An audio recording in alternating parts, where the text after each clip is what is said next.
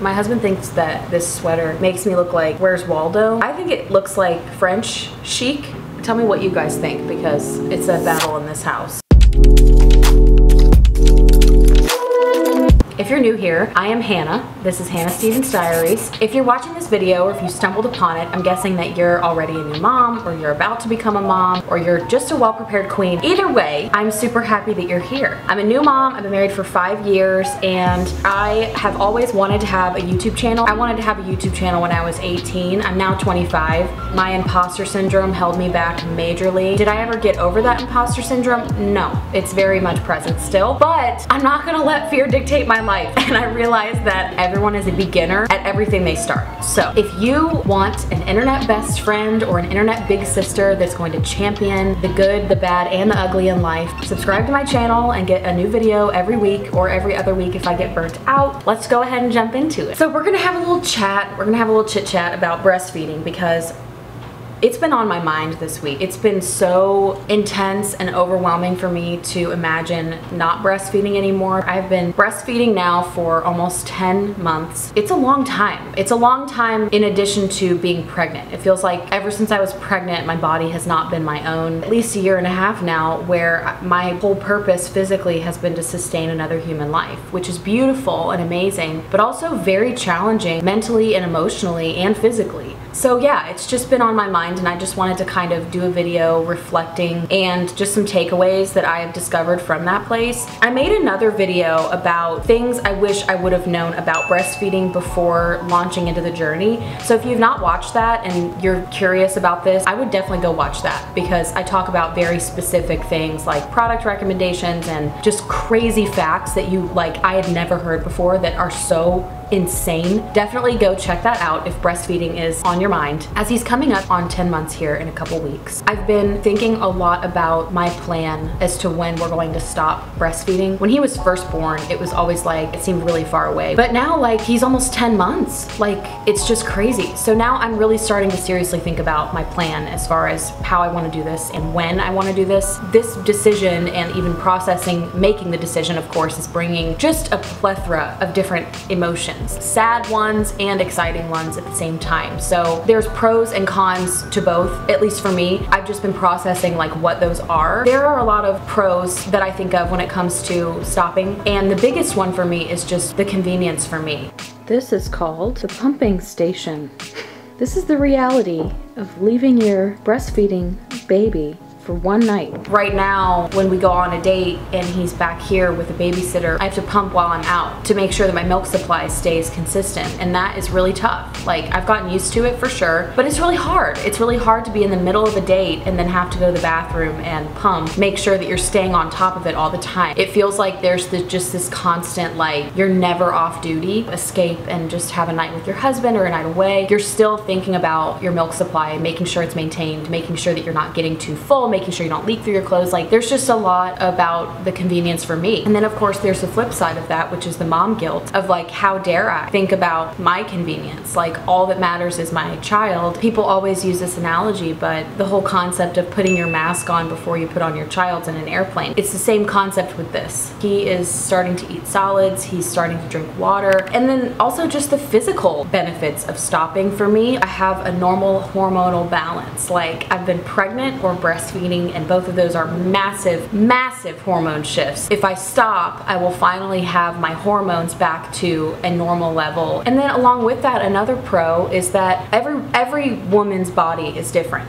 with handling breastfeeding, handling pregnancy. There's no one size fits all. For me, um, I always heard that, oh yeah, you burn tons of calories when you breastfeed and you're gonna lose all the baby weight. That did not happen for me. And the more I talked to my other friends that are moms, other moms had the experience that actually their body held on to their baby weight while they were breastfeeding. So for me, I have still not lost any baby weight. And it's not because I'm eating crap, it's because my body is essentially holding on to that fat for fuel to produce milk. And I even feel so selfish even saying that that's a reason why I would want to stop is for my own, you know, losing losing weight. That just seems like such a silly reason, but I have felt so uncomfortable for a long time now, like within pregnancy and now with breastfeeding and postpartum. Like I haven't felt like myself physically in so long, and that's another pro of stopping. So it's just a lot of conflicting emotion. And there's not only pros to stopping, there's also a lot of cons. A major con is that the emotional stability of breastfeeding for my son will be over. It's so easy when he's crying in the middle of the night or when he's really worked up to just automatically start breastfeeding him. It calms him down instantly,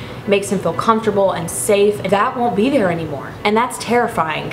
it's just been such an amazing tool to use for consoling him. And now that that won't be there anymore when I choose to stop, it's also scary for the bond that I have with my son. Breastfeeding is so amazing and beautiful for that bond with him and I'm scared of how it's going to change my relationship with him, how I'm going to connect to him, how I'm going to relate to him. My best memories with him in this whole journey has been breastfeeding him in the middle of the night and being groggy, but I'm just holding him and just taking it in and it's so beautiful and not like that that's not going to just stop. Like I'm still going to have those moments with him, but the intimacy that I experience with him in breastfeeding is is going to be over. And that is so sad. And so I have to like process that also. And then there's this safety and convenience that I know that he's getting all the nourishment that he needs because he's breastfeeding. It's a very easy, simple, you know, he drinks this many ounces a day and he's good. You know, when that is gone, the anxiety that what if he's not getting all the nutrients that he needs? What do I need to focus on feeding him? There's just not as much of a safety and security because my body is literally producing exactly what he needs. The fact that I have to figure out with food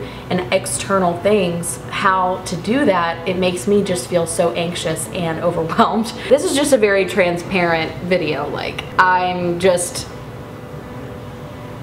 Just releasing all of my emotional thoughts because I know that there's other people out there that probably feel this way as well and it's also important to just talk about the real things. Like this is what this channel is about to me. It's about talking about, like I said, the good, the bad, and the ugly. This is a very real thing for breastfeeding moms is figuring out when this journey ends, how it ends. Now I'm getting to the point where I've kind of I've weighed the pros and cons and now I'm just thinking about my overall experience and like how did I get to be this far in the journey? How did I get to this point, like, and sustain this long term? Okay, the first thing that I would say helped me, if not the biggest thing for me, was understanding how milk supply works, how milk production works, how nursing works, hormones work. It was very empowering to have that knowledge and it helped me to wrap my head around what was going on and what I was feeling. And so I read, there's three books that are specifically really, really amazing. The first one I have is called uh, Baby Led Breastfeeding. This one was great. You can see it's all like marked up. And then there's a book called The Fourth Trimester, which I highly recommend reading in your third trimester of pregnancy. And it's about the newborn, postpartum, early breastfeeding world. I wish I would have read that in my third trimester of pregnancy because when you just have the baby, you're figuring things out. So I wish I would have had that earlier on, all that information. And then the last one that I would highly recommend is called The Art of Breastfeeding. That one was so cool to read and there were facts in there that I just blew my mind. So all of those books and all of my other breastfeeding essentials I actually have linked in my Amazon storefront. I like to create these categories for you guys if you ever want to go check those out and just like click of a button go ahead and order it without having to look it up. The link is in the description if you want to check that out. And I wrote down, I took notes in my phone I've been looking at. Another thing that I wrote down was having my breastfeeding essentials, understanding what products I needed, and understanding what they all did. Those are all linked again in my Amazon storefront. I would say too, like with anything in life, there's an opportunity that we have to like look at the beauty and focus on the beauty of it and appreciate it or focus on the inconveniences. And obviously no one's perfect at, you know, balancing those things, but I would say with breastfeeding, to me, there was so much more beauty, wonder, and blessing in it than there was inconvenience. So I, I really, really tried to focus on that aspect instead of the inconvenience and it really shifted my mind. Biggest tip of them all is get connected to a lactation consultant and start seeing him or her right after having the baby. I learned so much about my body, about how to manage everything, about mentally what to do from my lactation consultant. I'm a huge advocate for that. Even if it costs a little bit more, like it's just so worth it if you want to breastfeed and you want to breastfeed for a long time. It's so awesome. And there's stuff that she caught and helped me through that I never would have known. Game changers, like my son was just crying all the time and I didn't know why and she figured out why and it changed everything. Hi, mister. Hey, buddy. Say hi. Here, you want some banana? Oatmeal and banana. It's a good breakfast. Yeah, here you go. Pick it up. Pick it up with your hands. This? Yeah. All in all, I'm so thankful that I've breastfed. I am not sure when my journey will end, but I'm so thankful that I have been on it this long. There are so many blessings and so many benefits to it that I've really, really enjoyed and have been so special for us. It's overwhelming and sad to think that it's going to end ever. Yeah but I'm so thankful. And if you guys want more videos like this or there's another facet of motherhood that you want me to talk about on a transparent level, I'm here for that. Like that is what this channel is about. Thank you for watching. You want to say anything else, Mr. Banana? Thanks for watching and I will see you next time. I'm gonna feed him this oatmeal now. Oh man, this is gonna be a total mess. Ooh, that's good stuff, huh?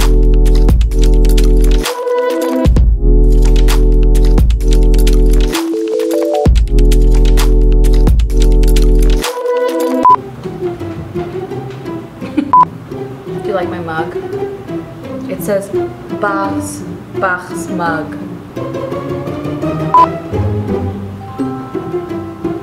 Intro. If you're watching this and